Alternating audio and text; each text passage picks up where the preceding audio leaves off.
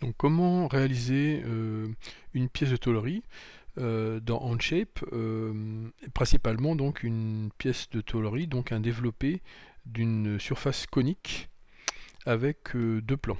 ici on a donc notre cône, ici une surface plane qui découpe la, tête du cône et une, autre surface plane qui découpe le cône en biais. On obtient donc un développé de notre tôle qui ressemble à ceci. Alors comment obtenir ceci dans OnShape, sachant que la fonction tôlerie ne permet pas de directement obtenir ce développé à partir de, surfaces coniques. Donc c'est ce qu'on va voir dans cette vidéo. Donc l'idée ça va être de réaliser euh, une surface, euh, enfin un élément volumique à partir de surfaces planes. Donc on va obtenir donc un, cône de ce type-là. Et là, on a une multifacette de surface plane. Alors, on va voir comment procéder. Alors, je vais reprendre avec la barre de reprise l'ensemble de la procédure. Donc ici, on va partir d'une base qui est cylindrique. Donc si j'édite mon esquisse, j'obtiens donc euh, un cylindre que je vais euh, réaliser en, trait mixte, hein, une surface de face à une, arête euh, qui est un trait de construction. Ensuite, je vais décomposer un demi-cylindre, le demi-cylindre, le demi-cercle, en segments. Alors ici, je vais faire un segment qui est bien perpendiculaire à celui-ci. Et ensuite, je vais m'accrocher sur le pourtour de mon cercle. Ensuite, je vais créer des contraintes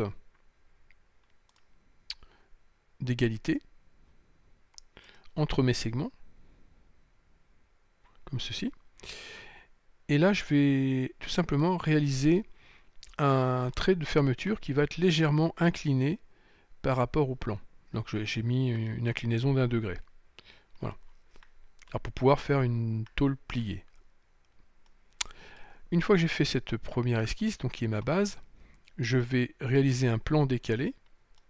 Ce plan va me permettre de tracer une deuxième esquisse. Alors, on pourrait très, très bien tracer euh, un point et donc faire un vrai cône qui finit en pointe, mais euh, on peut aussi euh, réaliser une autre esquisse équivalente à la précédente avec les mêmes types, le même nombre d'entités, le même nombre de segments, et il faudra veiller à ce que cette deuxième esquisse, chaque segment soit parallèle au segment qui lui correspond. Par exemple, si je prends le segment qui est là, alors je ne prends pas le premier segment parce que lui il est perpendiculaire à l'arête, je prends le deuxième segment ici, ce, deuxième segment de la base sera parallèle au segment, au deuxième segment de mon esquisse qui est là. Ainsi de suite. Une fois que j'ai fait ça, donc il faudra que mon contour soit fermé, je ferai également un angle ici avec mon plan d'un degré. Une fois que mes deux esquisses vont être réalisées, je vais réaliser donc un lissage. Donc j'utiliserai la fonction lissage pour réaliser ce tronc cône à partir de mes deux profils. Et là, je vais obtenir donc une série de surfaces planes. Mais là, j'obtiens bien un volume. Une fois que mon volume est fait, je vais pouvoir en faire un miroir. C'est-à-dire, je vais pouvoir euh, réaliser euh, un cône complet à 1 degré près, de manière à pouvoir faire mon, roulage. Une fois que c'est fait, je vais donc euh, créer une esquisse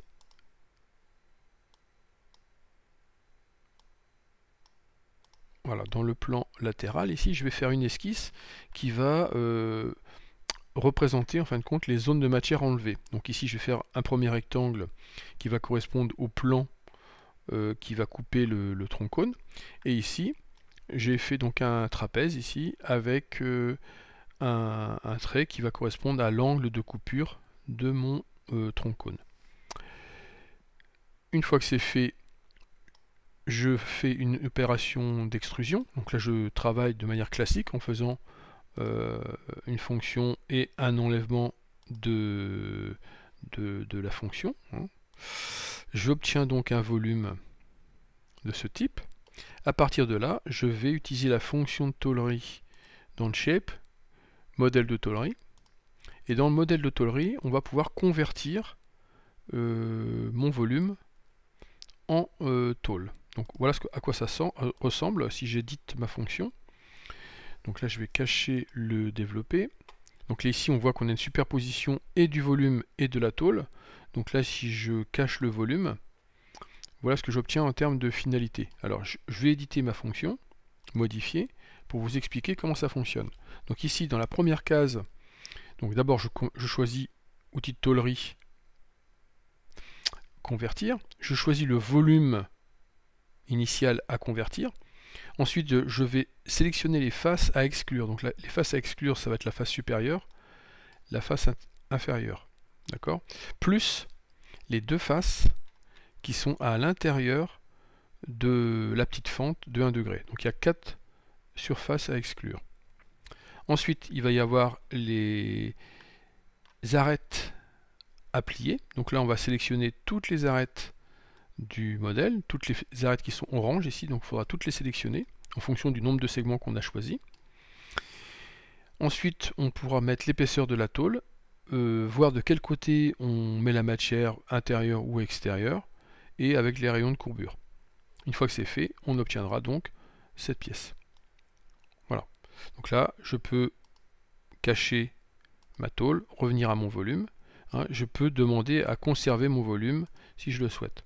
Et évidemment, une fois que mon modèle de tôlerie a été converti, mon volume a été converti, je vais obtenir donc le, le développé de, euh, de mon tronc cône. Voilà.